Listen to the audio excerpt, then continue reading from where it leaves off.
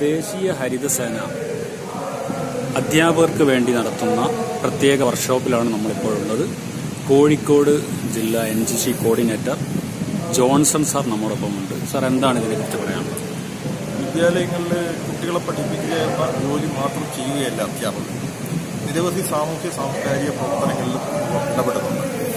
ഇപ്പോൾ ഏറ്റവും അധികം ജനങ്ങളെ ബാധിച്ചുകൊണ്ടിരിക്കുന്ന പരിസ്ഥിതിയുമായി ബന്ധപ്പെട്ട ആ മേഖലയിൽ പ്രവർത്തിക്കുന്ന അധ്യാപകരുടെ ഒരു പരിശീലന കളരിയാണ് ഇവിടെ നടന്നുകൊണ്ടിരിക്കുന്നത്. ഇവിടെ നിരവധി വിഷയങ്ങളെ സംബന്ധിച്ചിട്ട് അധ്യാപകർക്ക് വിദഗ്ധന്മാരുടെ ക്ലാസ്സുകൾ നടക്കുന്നു എന്നതിന് പുറമെ പ്ലാസ്റ്റിക്കിന് പകരം എന്ത് എന്ന അന്വേഷണത്തിന്റെ ഭാഗമായി ചെടികൾ വെക്കുന്നതിനുള്ള പാളക്കവറുകളുടെ നിർമ്മാണത്തിന്റെയും പരിശീലനം ഇവിടെ നടത്തിയിട്ടുണ്ട്. അതുപോലെ തന്നെ ഏറ്റവും അധികം ദുരന്തപൂർണമായ കാലഘട്ടത്തിലൂടെയാണ് നമ്മൾ കടന്നു വരുന്നത് അതുകൊണ്ട് തന്നെ ദുരന്ത നിവാരണവുമായി ബന്ധപ്പെട്ടുകൊണ്ട് അധ്യാപകരുടെ മേഖലയിൽ ചെയ്യാൻ കഴിയുന്ന പ്രവർത്തനങ്ങൾക്ക് നേതൃത്വം കൊടുക്കാൻ കഴിയും വിധം ഡിസാസ്റ്റർ മാനേജ്മെന്റിന്റെ ഒരു പരിശീലനം കൂടി സാധാരണയിൽ നിന്ന് വ്യത്യസ്തമായി ഇവിടെ കൊടുക്കുന്നുണ്ട് യെസ് അപ്പോൾ ഈ കപ്പാസിറ്റി ബിൽഡിംഗ് ട്രെയിനിങ് എന്നുകൊണ്ട് ഉദ്ദേശം എന്താണ്? അതായത് അധ്യാപകര് ഏറ്റവും കൂടുതൽ വിദ്യാർത്ഥികളെ പഠിപ്പിച്ചുകൊണ്ടിരിക്കുമ്പോൾ തന്നെ പരിസ്ഥിതി രംഗത്ത് അവർക്ക് ഒരുപാട് ഇടപെടലുകൾ നടത്താൻ കഴിയും. യെസ് ഓരോ പ്രദേശത്തുമുള്ള പരിസ്ഥിതി വിഷയങ്ങൾ മനസ്സിലാക്കി അതിലെങ്ങനെ ഇടപെടണം എന്നതിന് ഒരു ശേഷി അവരുടെ ശേഷി വർദ്ധിപ്പിച്ചെടുക്കാൻ അവരുടെ കപ്പാസിറ്റി വർദ്ധിപ്പിച്ചെടുക്കാൻ കേന്ദ്ര ഗവൺമെന്റിന്റെ വനം പരിസ്ഥിതി മന്ത്രാലയം നൽകുന്ന ഫണ്ട് ഉപയോഗിച്ചുകൊണ്ട് കൊടുക്കുന്ന പരിശീലനം. യെസ് അപ്പോൾ ഈ വിദ്യാലയങ്ങളിൽ ഇത് അധ്യാപകർ നടപ്പിലാക്കണം. അതാണ് ഉദ്ദേശിക്കുന്നത്. തീർച്ചയായിട്ടും. അധ്യാപകർ കുട്ടികളിലൂടെ ഇത് പൊതുസമൂഹത്തിലേക്ക് എത്തിക്കുകയാണ് ചെയ്യുക യെസ് അപ്പോൾ വർഷങ്ങളായി ഈ രംഗത്ത് പ്രവർത്തിക്കുന്ന സാർ പ്രത്യേകമായി എടുത്തു പറയാനുള്ള എന്തെങ്കിലും അനുഭവങ്ങൾ ഇതുമായിട്ട് ബന്ധപ്പെട്ടിട്ടുണ്ടോ? തീർച്ചയായിട്ടും ഉണ്ട്. നമുക്ക് പിന്നെ ഉദാഹരണ സഹിതം പറയാൻ കഴിയുന്ന ഒരുപാട് മികച്ച പ്രവർത്തനങ്ങൾ വിദ്യാലയങ്ങൾ നടത്തിക്കൊണ്ടിരിക്കുന്നുണ്ട് Yes.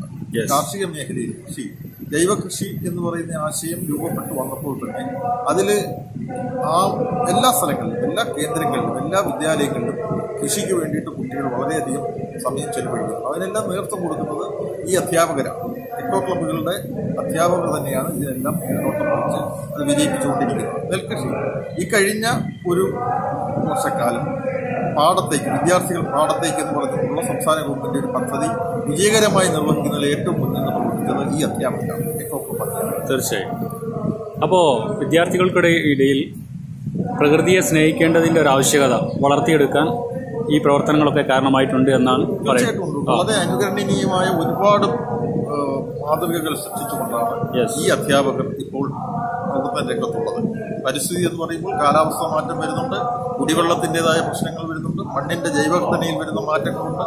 ഇതെല്ലാം പരിശോധിച്ചുകൊണ്ട് ഇതിനെല്ലാം ആവശ്യമായ പരിഹാരങ്ങൾ കാണാൻ ഈ അധ്യാപക കൂട്ടായ്മയ്ക്ക് കഴിയുന്നു എന്നുള്ളതാണ് നാഷണൽ ഗ്രൂപ്പ് പ്രത്യേകത. വിദ്യാർത്ഥികൾക്ക് എന്തെങ്കിലും പ്രത്യേകമായി സന്ദേശം നൽകാനുണ്ട്? വിദ്യാർത്ഥികൾക്ക് പ്രവർത്തിക്കാൻ കഴിയുന്ന ഒരു പ്രവർത്തന രീതി ഒരു മോഡ്യൂൾ കേന്ദ്ര ഗവൺമെന്റ് തയ്യാറാക്കി. സംസ്ഥാന ശാസ്ത്ര സാങ്കേതിക പരിസ്ഥിതി കൗൺസിലും ഇതിനാവശ്യമായ എല്ലാ പിന്തുണയും സാമ്പത്തിക സഹായം ഉൾപ്പെടെയുള്ളത് നൽകിക്കൊണ്ട് കുട്ടികളെ കൂടുതൽ കൂടുതൽ കാര്യക്ഷമതയോടെയുള്ള പ്രവർത്തനത്തിൽ കൊണ്ടുവരാനും കൊണ്ടുവരാനും അധ്യാപകർ രംഗത്തിറക്കാനും അതിന് നേതൃത്വം കൊടുക്കാനും പര്യാപ്തമാകുന്ന ഒരു അധ്യാപക സമൂഹം വാർത്തെടുക്കാനും ഇത്തരം പ്രവർത്തനങ്ങൾക്ക് കഴിയുമെന്നാണ് ഞാൻ വിശ്വസിക്കുന്നത്. തീർച്ചയായിട്ടും. അങ്ങനെ കഴിയട്ടെ എന്ന് ആശംസിക്കുന്നു. എൻ സി സിയുടെ ക്യാമ്പിനോടനുബന്ധിച്ച് ഡിസാസ്റ്റർ മാനേജ്മെന്റ് അവതരിപ്പിച്ച പ്രത്യേക പ്രോഗ്രാം ഏവരുടെയും ശ്രദ്ധ നേടുകയുണ്ടായി. അതിന്റെ കോർഡിനേറ്റർ ഷംസുദ്ദീൻ നമ്മോടൊപ്പം ഉണ്ട് എന്താണ് ഈ പ്രോഗ്രാമിനെ കുറിച്ച് പറയാനുള്ളത്?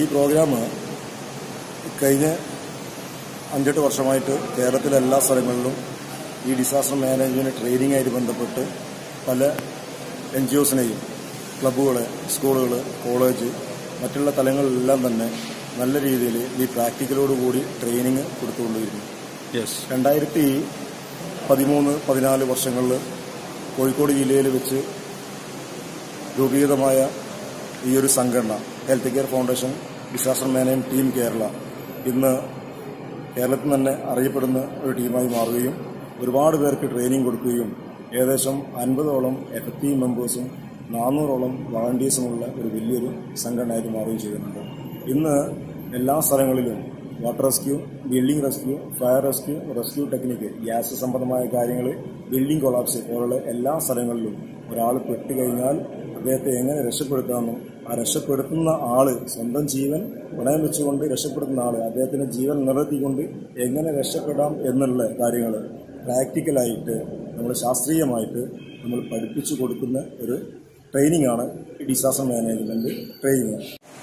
അപ്പോൾ ഈ ക്ലാസ്സുമായിട്ട് ബന്ധപ്പെട്ട് നിരവധി സ്കൂളുകളിലും അതേപോലെ സംഘടനകൾക്ക് വേണ്ടിയൊക്കെ നിങ്ങൾ ക്ലാസ് എടുത്തല്ലോ. അപ്പോൾ ഇതുമായിട്ട് ബന്ധപ്പെട്ടുണ്ടായ എന്തെങ്കിലും വ്യത്യസ്തമായ ഒരു അനുഭവം ഇവിടെ പങ്കെടുക്കാൻ ഇതുമായിട്ട് ബന്ധപ്പെട്ട അനുഭവം എന്ന് പറയുന്നത് നമ്മൾ എവിടെയെങ്കിലും ട്രെയിനിങ്ങിന് പോയിട്ടുണ്ടെങ്കിൽ സ്കൂളിലാണെങ്കിലും കോളേജിലാണെങ്കിലും എവിടെയാണെങ്കിലും ഒരു ട്രെയിനിങ് പോയിട്ടുണ്ടെങ്കിൽ ആ ട്രെയിനിങ് കഴിഞ്ഞ് ഒന്നോ രണ്ടോ അല്ലെങ്കിൽ ഒരാഴ്ചന്റെ ഉള്ളിൽ തന്നെ ഒരാൾ തന്നെങ്കിലും നമ്മളെ വിളിച്ചിട്ട് പറയും സാറേ നിങ്ങൾ ചെയ്തു തന്ന ആ ടെക്നിക്ക് കൊണ്ട് ആ ട്രെയിനിങ് കൊണ്ട് എനിക്ക് ഒരാളെ രക്ഷപ്പെടുത്താൻ പറ്റി. എന്നുള്ള രീതിയിൽ എവിടെ ട്രെയിനിങ്ങിന് പോയി കഴിഞ്ഞാലും ആ ട്രെയിനിങ് കഴിഞ്ഞ് ഒരാഴ്ചനുള്ളിൽ തന്നെ നമുക്ക് കിട്ടുന്ന റിസൾട്ട് അതാണ് ഏറ്റവും വലിയ റിസൾട്ട് എന്ന് പറയുന്നത്. അപ്പോൾ ദുരന്ത മേഖലകളിൽ നിങ്ങളുടെ സാമീപ്യം?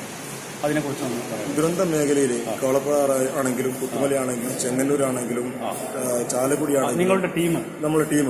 പല സ്ഥലങ്ങളിലും രാവെന്നോ പകലെന്നോ ഭേദമില്ലാതെ എല്ലാ സ്ഥലങ്ങളിലും എത്തിച്ചേരുകയും ആ. അതോറിറ്റിയായിട്ട് ബന്ധപ്പെട്ട് ഡിസ്ട്രിക്ട് അതോറിറ്റിയായിട്ട് ബന്ധപ്പെട്ട് അവരെ നിർദ്ദേശാനുസരണം ഫയർഫോഴ്സ് ആണെങ്കിലും എൻ ഡി ആർ എഫ് ആണെങ്കിലും നേവി ആണെങ്കിലും അവരെ നിർദ്ദേശാനുസരണം അവർക്ക് എന്താണോ അവിടെ വേണ്ടത് അത് നമ്മൾ ചെയ്തു കൊടുക്കുകയും അവരെ കൂടെ ഒരു ഗ്യാങ് അവരുടെ കൂടെ ഉണ്ടെങ്കിൽ ഒരു ബറ്റാലിയൻ അവരുടെ കൂടെ ഉണ്ടെങ്കിൽ ആ ബറ്റാലിയന്റെ കൂടെ നിന്നുകൊണ്ട് രക്ഷാപ്രവർത്തനം ചെയ്യുന്ന ഒരു ഏർപ്പാടാണ് നമ്മൾ ചെയ്തുകൊണ്ടിരിക്കുന്നത്. തീർച്ചയായും വളരെ വലിയൊരു സേവനം തന്നെയാണ് നമ്മൾ ചെയ്യുന്നത്. ജോൺസൺ സാർ എന്താണ് ഇതിനെക്കുറിച്ച് പറയാനുള്ളത്?